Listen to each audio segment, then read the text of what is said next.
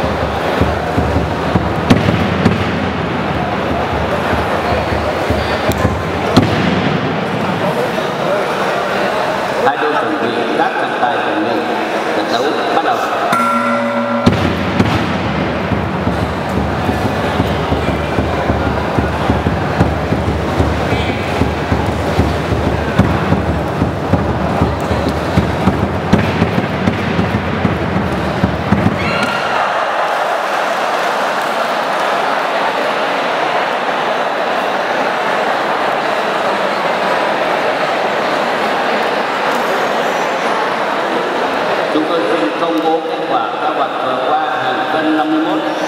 ở lúc 0 16 11 Nguyễn Đình Phương Hà Nội thắng